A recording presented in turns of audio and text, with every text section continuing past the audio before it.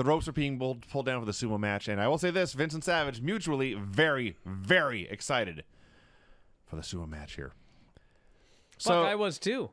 At least the first 10 minutes. So before the match, they announced that Earthquake will face Owen Hart in a King of the Ring qualifier next week, which kind of gives away the finish here.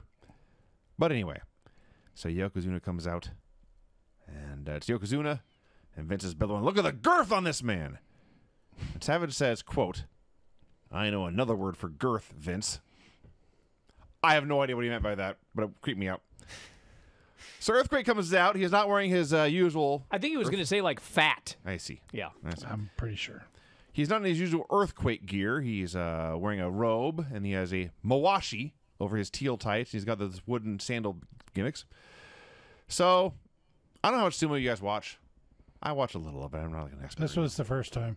Yeah.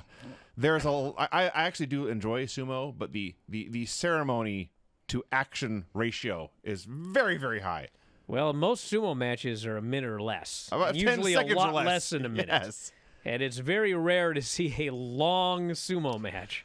But goddamn, when you got two sumo greats in the ring like we had here, it can go a while. So they they stall forever. They're doing the leg up pose. They're throwing salt, and they tease starting, and they walk back to the corner. Okay, now does that happen where they tease like three times? Yep. Really? That's all part of the thing. Fuck. These Yes. fans were like pissed off. I, I was actually stunned how patient they were. I thought they'd be a lot harsher. Well, the first time they did it, they were like, okay. Then they do the second time, and they're like, okay.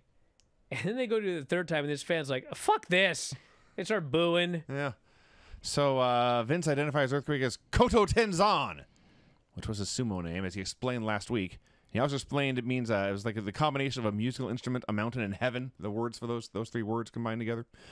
Vince remembered Koto Tenzan, but when Savage asked, "What does that mean?" I could not remember. he said, "quote Something to do with the tremors and whatever." That was Vince's reply. So finally, the match actually starts. And man, I assure you, this was some worked sumo. It was, but you know what? It was kind of exciting. They worked it well, I thought. Yeah. I thought they did a good hmm. job with this. But you know what I what I what I saw before it even started? Like Yokozuna comes out and he is a gimmick sumo guy. Yeah. And then out comes John Tenta, and he is a not a gimmick sumo guy. He was a he was a legit sumo. And man, that guy got in the ring and I thought he would fuck you up, dude. Mm-hmm. He would fuck you up. He had that look on his face and he had that fucking outfit on and you could just tell like by the way that he moved and and like you could see the guy that had done this and the guy that hadn't. It was it was patently obvious. And I didn't know who won, but I was watching this and I thought, you know, dude, I don't care. Tenta's got to go over. This is his thing. Like it would be ridiculous to me for Yokozuna to be even in fake pro wrestling. It's like John Tenta had to win this match. He did. So they worked this with, uh, I mean, they worked match obviously, but they, they use they use actual sumo ru- rules, which is you lose if you if you uh, go out of the ring or if anything other than your feet touches the mat, which took away almost everything they could possibly do. There was a lot of hugging, a lot of pushing and shoving, some slaps here and there, and they'd take a step or two back towards the edge and then go back to the middle of the ring. Most bashos don't have as much mat time as this one match did here, but uh, eventually Probably most events. a basho was a series of events in an entire I tournament. see. yeah. Uh, Koto Tenzan ducks a swing, hits a big ass palm strike, and just to make sure everyone knows he has lost, Yokozuna takes the biggest back bump you ever saw, He- and then also rolls out of the ring. Fuck, he took this bump. You know, we always talk about the uh, the apron is the hardest part of the ring. There were no ropes, so you couldn't see the apron, but he landed on the fucking apron. And even back then, like the WWE rings did not have a lot of give. The WWE rings were very, very solid until coincidentally Vince started working, and then they made brand new rings that were bouncier. But uh, this was a very, very hard ring as it is. And man, this guy took a fucking bump right there on the apron, the edge of the ring, and that ring did not move at all. And he took that bump and banged his head and rolled outside. And I thought, you may as well, honestly, you may as well have just fallen off the apron and took a flat back bump on the, the blue mats on the outside. Probably would have felt better. But God damn, that guy took a bump for that shove. Yes, he did. Yes, he did. So yeah, uh, the crowd. You know, you, you said they were hostile after all the stalling and to start, and, there, and there was not a lot of action in this match. But man, when Earthquake won, they went crazy. They went very happy. Earthquake won, and Yoko looked heartbroken on the outside. Honestly, he couldn't believe he lost a sumo match.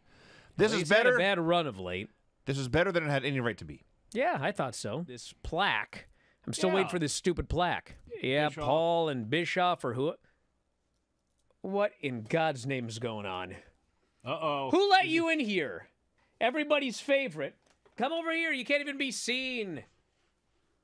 What? Oh my God. Oh! Happy days here for Bryan Alvarez. There it is. Presented Oh, to at F4W Online for passing 100,000 subscribers. Uh huh. I want to give Oreo a hug. Come here, you big fat whale. Yes. Thank you to everybody out there. Uh oh. Hey! Uh- what are you doing? Bryan? Oreo? Hey, I'm taking over the show. Oh no. Dom, Oreo. hit that Ah, the hell with it. You know what? It's Monday. It's dance party. No, man. Hey, no. Hey, I love you guys. I love you.